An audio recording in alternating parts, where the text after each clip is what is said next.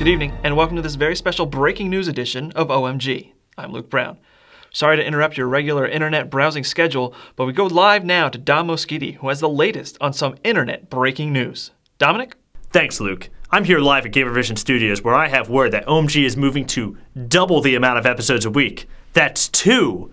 Let's go to Luke for uh, see if he can answer some questions. Uh, Mr. Brown, uh, what do you know about uh, this uh, this whole new schedule going on? No, I, I, no comment right now. Oh, okay, that's very funny. Where are you doing all this Sega Genesis stuff and uh, Sega Saturn stuff? Listen, what I do in my private time is my private time. Oh, okay, okay, Mister. Well, how about all those customers, huh? How about all that and all those paying customers? There's, I have nothing to say to you. Goodbye.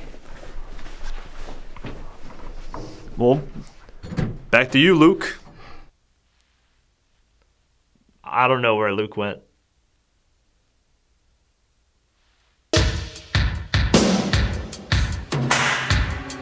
Luke Brown has been missing since March 23, 2010.